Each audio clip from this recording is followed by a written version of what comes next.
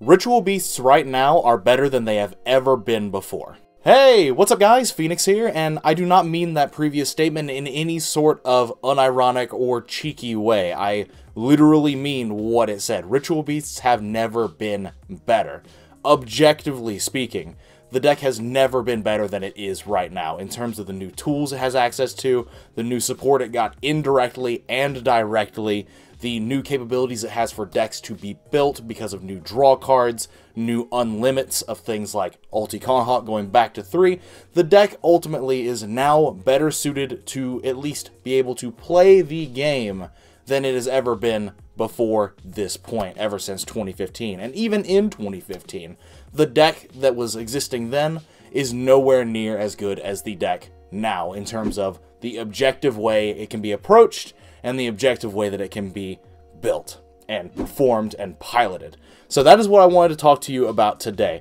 Ritual Beasts is one of my favorite decks, like literally one of my favorites because it just does so much and I feel like it's very rewarding to play. You can also pick up the core for fairly cheap. Uh, there are certain other cards you have to pick up for the deck now, like Wynn the Wind Channeler, which is a new bit of support that literally searches almost every Ritual Beast card that makes the deck insanely better. There are also draw cards you can pick up, like Pot of Extravagance, that are a little bit more on the expensive side, but you do have other options like Performapal Popper Up that does have natural synergy with the deck, or something like Pot of Desires that just changes the way you have to build your deck, all these sorts of things. There's multiple ways and multiple avenues you can approach it, and I think that it's one of those decks that if you're looking to improve at the game or just looking to have some fun, Ritual Beast is definitely one of those decks, and that's why it's one of my favorite decks. I think it's very, very rewarding to pilot. And so, with Wynn coming out in Rise of the Duelist, making the deck a step above what it was before, a significant step up what it was before, I figured what better opportunity for me to go through and show you basically like a sort of like entry level guide into like what everything that has changed about the deck since 2015 is so that if there's any returning players that really liked this deck in the past or if there are any new people that are interested in ritual beasts that have never seen these cards before can at least get some basic ideas of how the deck is meant to function and all that sort of stuff so with that out of the way I guess I just need to start showing you what I'm talking about. First and foremost, we need to talk about the most important piece of the new puzzle, the fact that Wynn the Wind Channeler is coming out in Rise of the Duelist. Now, if you've never seen this card before, this is what it does. You can discard this card and one wind monster, add one wind monster with 1500 or less defense from your deck to your hand, except for Wynn the Wind Medium. Also, you cannot activate monster effects for the rest of the turn, except for wind monsters. And then it has a second effect that's never relevant, but when your wind monster is destroyed by battle while this card is in your hand, you can special summon this card. You can only use each effect of Wynn the Wind Medium once per turn. Basically, the first effect is what we're mainly focusing on here, and this is what is big and important about this card. This card can discard itself and any wind monster in your hand, so all of your Ritual Beast cards. It can search Elder, it can search Cannahawk, it can search Rampengu, it can search Apelio, it can search uh, Zefram Pilica, like, it can search so many cards in the deck. It can search, like, every Ritual Beast name except for Winda, Petalfin, and Laura, if I'm remembering correctly. Uh, can't even remember what Zephyr Windy's stats are because that card doesn't matter in the context of a Ritual Beast deck. But so what this card allows is this card allows heightened consistency because it's a card that directly searches your best combo pieces. Your Elder, your Cannahawk, your Rampengu. But because it also searches other things like Zefram Pilica and Apelio, it also has the capability of being an extender as well. It's not like a card that's going to be dead in your hand when you have opened Elder Cannahawk or Elder Rampengu. It actually fundamentally improves all your combos that you opened, but then if you didn't open the actual combo itself, it gets you there because it is a consistency card. It is literally a perfect card for this deck, and it locks you to wind effects for the rest of the turn, but that's literally your entire deck, so it's not going to be something that's ever going to be restricting you in any way, shape, or form. It literally only is there to benefit you. And then the other factor of why I'm talking about Ritual Beasts Ulti Cannahawk was just released from the most recent Forbidden Limited list. It is back to 3. Card's been back at 3 for a while now, and when the card went back to 3, I said that I thought it was going back to 3 so that they could justify importing Wynn, the Wind Channeler. And I was just casually correct on that. But what this allows is it allows the deck to have access to cards that are new that we never had in 2015, like Pot of Extravagance. This is a consistency boosting card. This is a card that you could play at the start of your main phase 1 and draw two cards. One of the key issues that Ritual Beast has suffered with is the ability to get to its combo plays. But being able to play a card that is literally Pot of Greed is now very, very desirable. And you don't even have just this to contend with. You could play Pot of Desires instead of this. I personally think Pot of Extravagance is the better option because if you knew how to play Ritual Beast correctly, you never needed more than one Ulti Cannahawk anyway. Does it affect some of the combos? Yes, it affects specifically one combo that I'm going to show you in this video. But you only have a 4.4% chance of banishing all of your Cannahawks or all of your Kimun Falcuses from your extra deck. And if you banish all your Kimun Falcuses, then you're still just playing old Ritual Beast combos. You just don't do the new combos.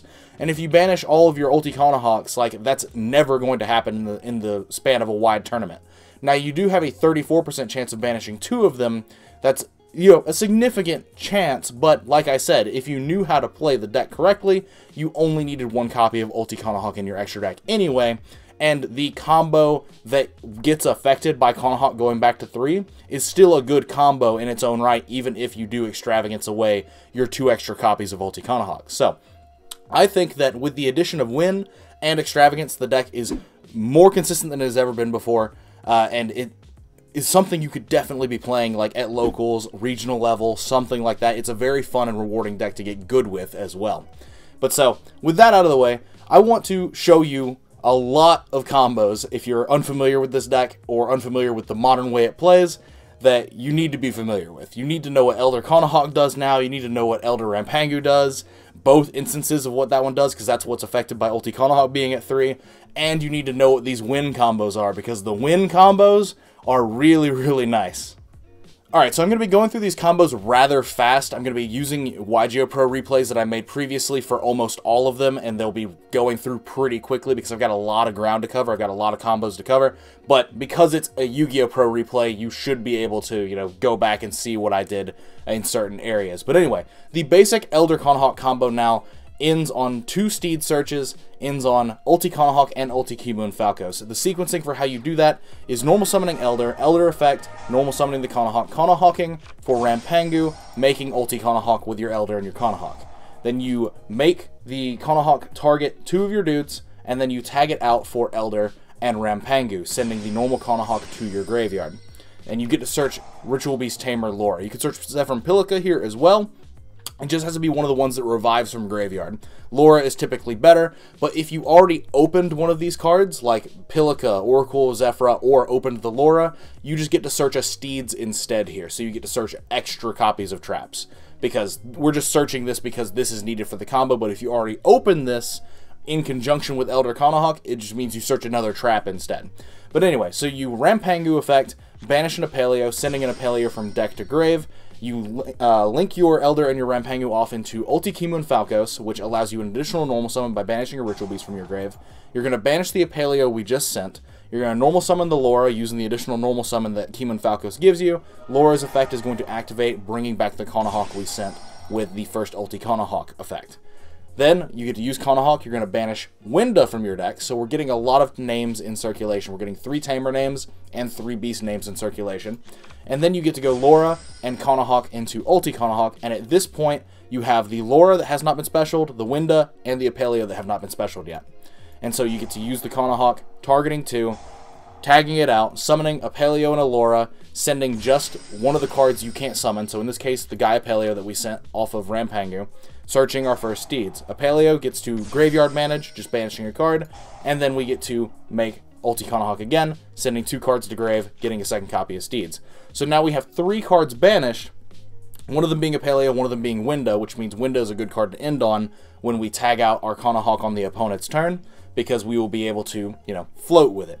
And then also the Apelio will be putting another name back in our banish pool, meaning that the Ulti Kimun Falcos effectively functions like Ambush that we would previously end on. Because previous combos you'd end on Steed's Ambush so that you could tag out your fusion on your opponent's turn, summon two dudes, and then ambush for two more dudes so you can pop four with Steeds.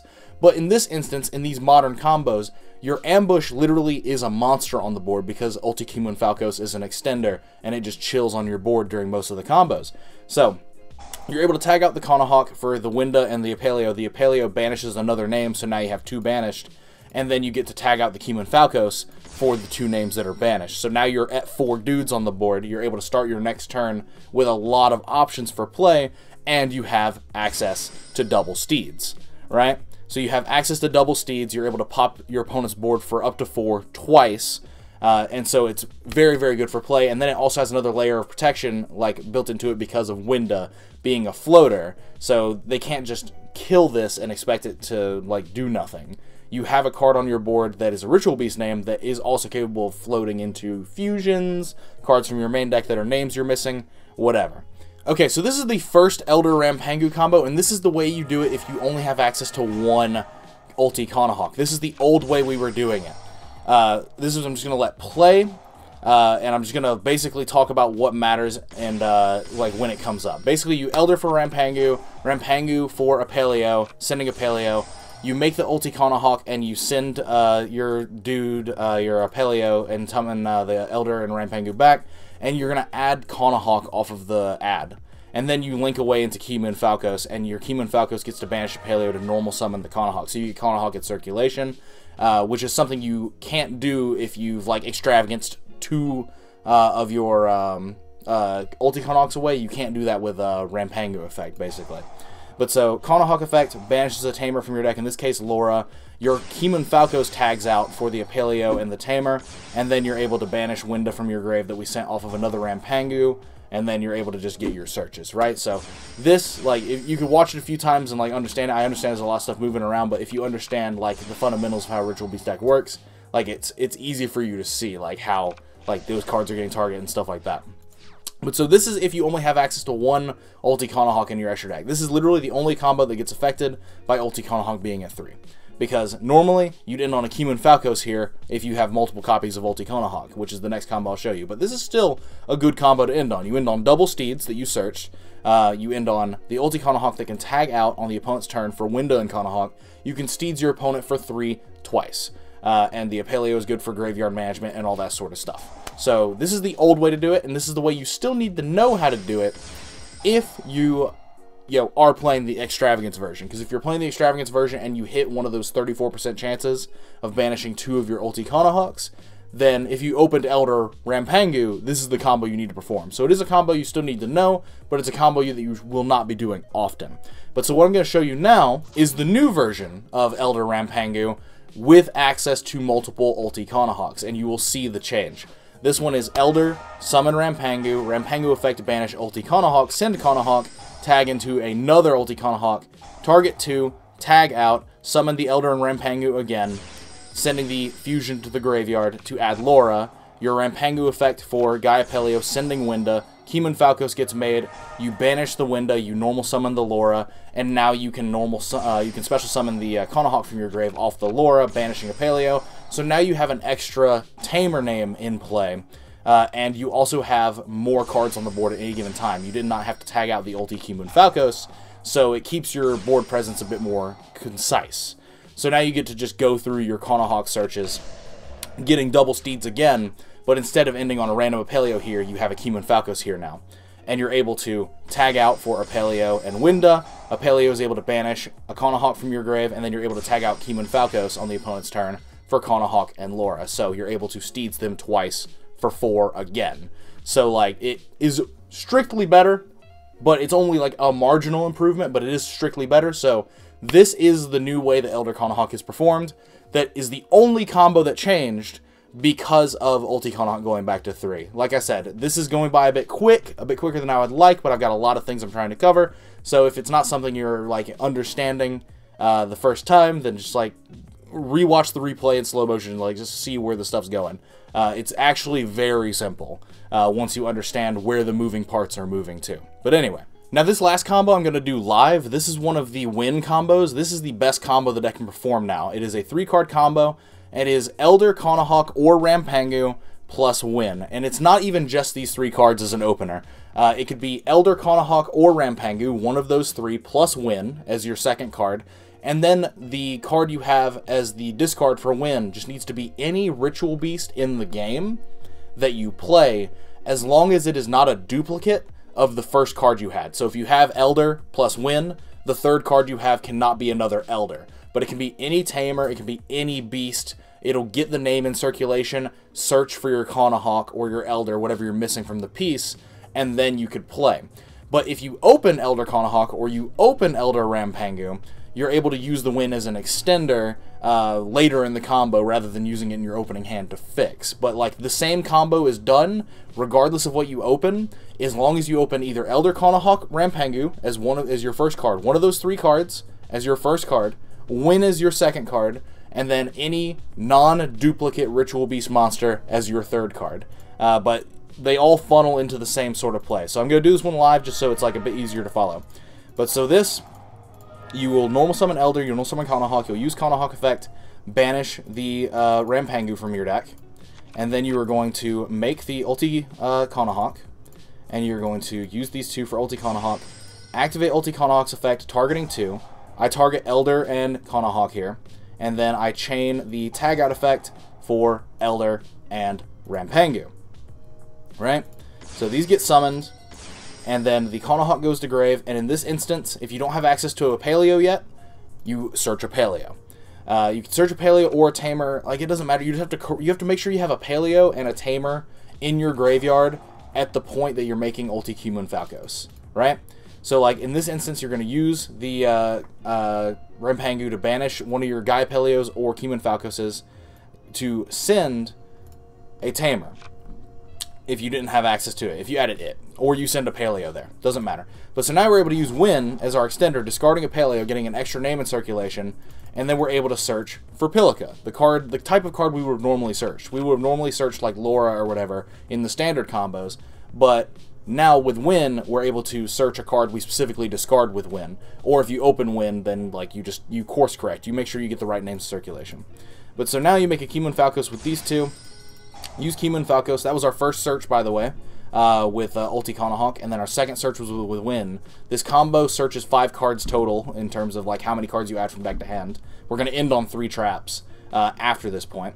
But so you Ulti Kimun Falcos effect, you're going to banish the Apelio that is in your grave. You're going to normal summon the Zephyr Pilica that you added off Wynn. You're going to use Zephyr Pilica's effect to special summon the Cannahawk, and then you're going to use the Cannahawk effect to banish another Tamer from our deck. In this case, usually I just banish the worst one, which is Win.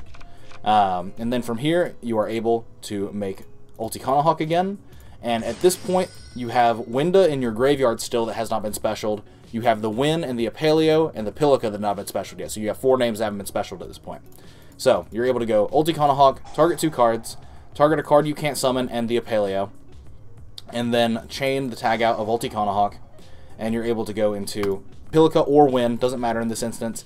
The important part is a Paleo, and you summon these two cards, and then you get to add Steeds.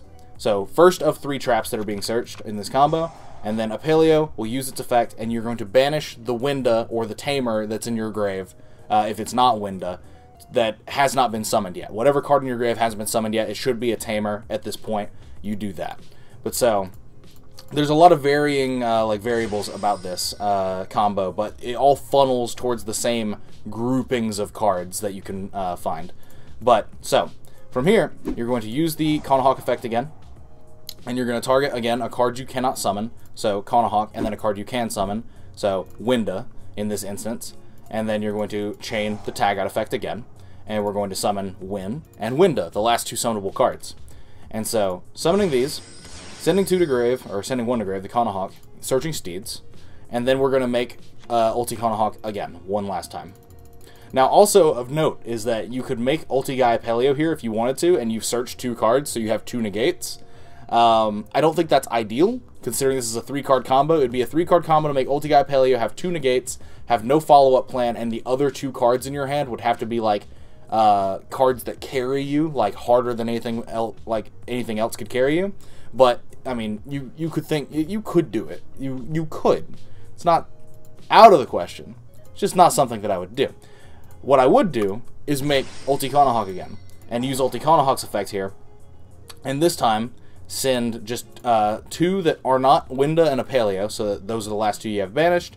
And this time we will add an ambush. This is one of those instances where ambush comes up because we only have two banished, meaning when we summon this Apaleo, we'll only have one banished uh, after we summon those two off Cannahawk.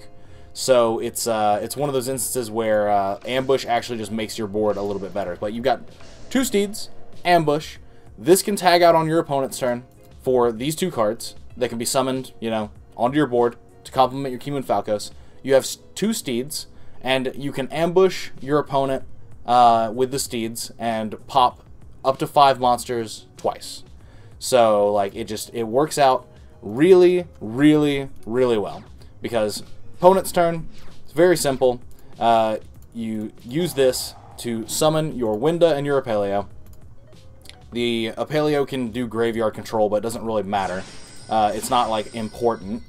Um, and you can just do ambush and get the uh, tamer of your choice. Elder is like the least offensive, I guess. Smile, um, and get your Cannahawk back. So you can have like this sort of board in conjunction with your Steedses. You can deal with a lot of monsters this way.